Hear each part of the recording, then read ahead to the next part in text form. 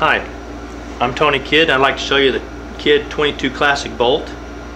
Uh, it's CNC machine from 4140 tool steel and hardened to 48C Rockwell. It's very tough, very durable, uh, well-designed bolt. You can see the uh, cosmetic finishes. It comes in a, a matte and it also comes in a scallop finish. The uh, scallops are our rendition of jeweling. Uh, you know, we used to jewel them, uh, which is just a polished surface on the uh, on the bolt, and after you know a couple thousand rounds, we'd find that it would just uh, in cycling that it would wear and start just coming off and not looking so good. So we came out with the scallops, which are about 10 thousandths deep, and they never wear out. And it's I don't know if you see it in the video, but they're pretty cool. They they kind of have a 3D effect and it's pretty racy looking. It looks really good and it'll never wear off. Uh, we, we like that and anyway that's that's what we offer. Uh, some of the components we have the uh, Kidd A2 tool steel firing pin and also the Kidd A2 tool steel extractor. Uh, both of these uh, are wire EDM cut and the tolerances are held to 2 ten thousandths.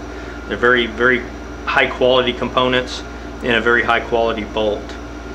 Uh, one of the features I'll, I'll, start with is the radius, the rear radius. It's uh, got a high polish to it. Makes the bolt cycle very smoothly, very consistently. Uh, gives you a very good harmonic to the rifle and uh, which is the key to accuracy. You know, consistency is everything. The breech face is machined square to the bolt body to within two ten thousandths and the headspace is cut to the proper 42 thousandths. Uh, you'll see the nose of the firing pin. It's pinned. We have a 330 seconds hardened dowel goes through here to control the up and down movement of the firing pin. And the because we control all the components, the rear of the firing pin is also extremely close fit. So you see the rear end doesn't move up and down the front end doesn't move and down. The only movement of this firing pin is fore and aft, the back and forth movement. And that allows 35 thousandths protrusion, which is exactly what you want on a 22 rimfire.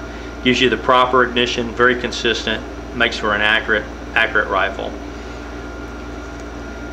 The Kidd extractor holds any case very securely, uh, aids greatly in, in ejection it won't uh, won't let go. It's very sharp, very well designed, and doesn't matter whether you have a long bullet in a short chamber and and your uh, bullet is engraving the rifling. This extractor will pull it out. Once it gets a hold of it, it will not let go, and it pulls it out. It's it's very very tough, very well made. The last feature I'll point out is the little 45 degree chamfer we put here.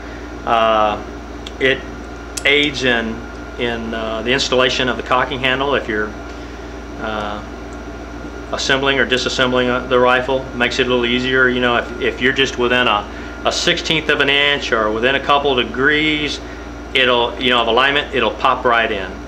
Uh, whereas if you have the square corners if you're not perfectly lined up it can be really tough getting these in and out if you're not real experienced with it. And uh, it I mean honestly does absolutely nothing for you as far as function, uh, reliability, accuracy, anything. It's just a nice feature if you're if you're taking the gun, you know, your rifle apart and cleaning it.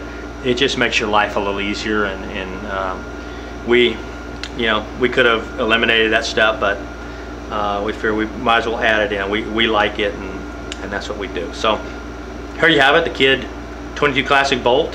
Uh, very nice, very precise bolt and uh, hope you like it. Thank you.